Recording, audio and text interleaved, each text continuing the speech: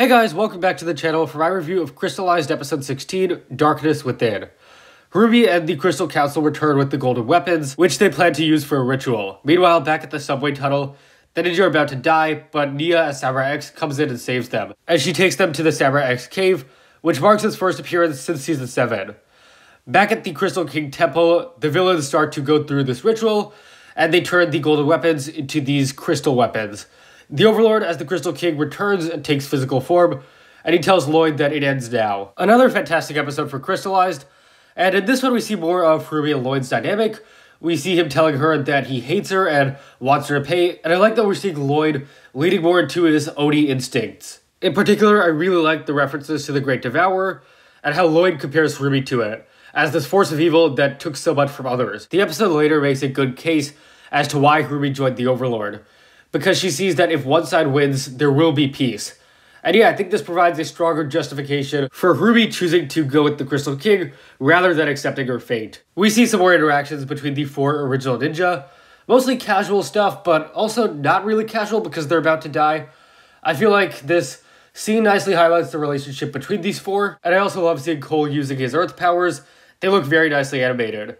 I also really enjoy the scene where Nya informs the ninja of everything that happened their reactions to Harumi being alive, and also the Overlord theme being played when she speaks about the monastery being destroyed. It's also nice to see the Samurai X cave back.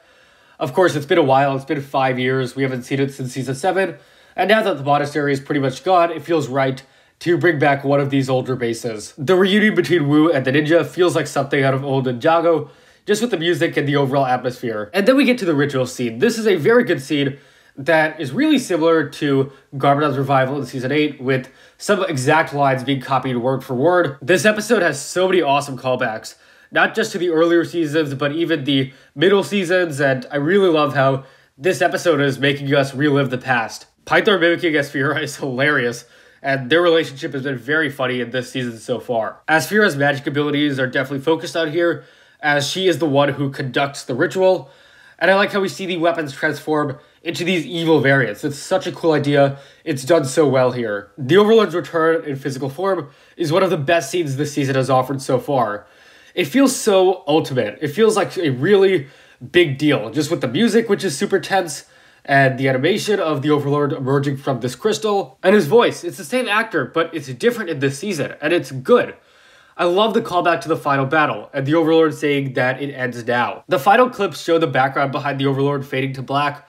This is an excellent parallel to the final battle, in which, of course, there was just darkness and we only saw the Overlord Dragon's head. Jay's song or dance, whatever, I found to be pretty annoying. Not really too funny, but I feel like a bigger concern, I guess, I have for the season as a whole is I feel like they haven't really justified a great reason for Harumi to be back. Her story was closed, and now that she's here, I don't know if the season needed her. We've seen a lot of the same between her and Lloyd in episodes 13, 14, and 16, and don't get me wrong, it's good. But is it enough to justify her return? I'm not sure of that yet. I feel the plot of this episode was really good. I like how we saw two sides of the story with the ninja and also with Lloyd at the Crystal Temple. The Overlord was definitely the star character here. His return was phenomenal. I think it was just a very well crafted scene. And of course, Harumi and Lloyd were also good, as well as the original four ninja interacting. I mean, no real bad characters here. No big fight scenes here, but I really liked seeing the ninja escape from the tunnel. The golden weapon ritual scene was also great, and the emotion was very strong between Lloyd and Harumi. This episode gets another 10 out of 10 for me. I think it is definitely a very important Ninjago episode. We see the return of Ninjago's main villain, the biggest villain of the series, and it feels like Crystalized is starting to get very climactic. We're heading towards a huge finale, and the episodes are definitely showing that. Thank you for watching, guys. If you enjoyed, please leave a like, subscribe. Share with anyone Devin you know. Share your thoughts on episode 16, Darkness Within, below. And I'll see you guys next time.